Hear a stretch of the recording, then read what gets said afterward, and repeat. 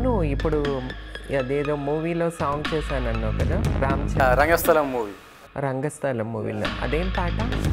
ఆ గట్టునుంటావా ఈ గట్టునుంటావా అనే సాంగ్ ఉంది కదా అందులో. ఈ ఒక్కసారి మీ అందమైన అద్భుతమైన స్వరంతో ఆ పాటను ఒక్క లైన్ పాడి వినిపిస్తావా సడన్గా సాంగ్ పాడమంటే నాకు లిరిక్స్ ప్రాబ్లం అవుతుంది.